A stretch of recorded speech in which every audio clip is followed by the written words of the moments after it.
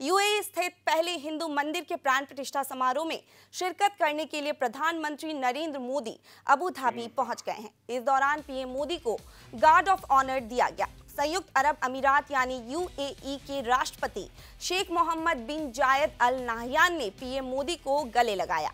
गौरतलब है कि मध्य पूर्व में पारंपरिक हिंदू वास्तुकला शैली में यह पहला पाषाण निर्मित मंदिर होने जा रहा है जिसका निर्माण बीएपीएस संस्था द्वारा किया गया है। 14 फरवरी को प्राण प्रतिष्ठा समारोह का आयोजन किया जाएगा। प्रधानमंत्री मोदी ने जायद स्पोर्ट्स सिटी स्टेडियम में भारतीय प्रवासियों को भी संबोधित किया। गौरतलब है कि प्रधानमंत्री मोदी का 2015 से यूएई का यह सातवां दौरा है। पिछले आठ महीनों में यह उनका यूएई का तीसरा दौरा होगा। यूएई के राष्ट्रपति से मुलाकात के दौरान पीएम नरेंद्र मोदी ने कहा कि यहाँ बीएपीएस मंदिर का निर्माण आपके सहयोग के बिना संभव नहीं होता।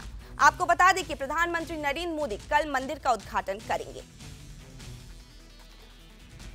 जो जीवन भर आपके साथ रहने वाली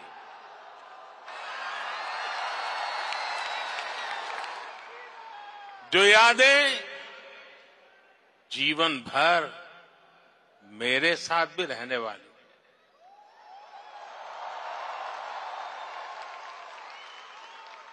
मेरे भाइयों और बहनों,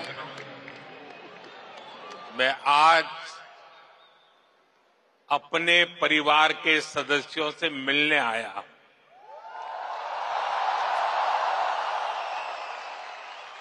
समंदर पार जिस देश की मिट्टी में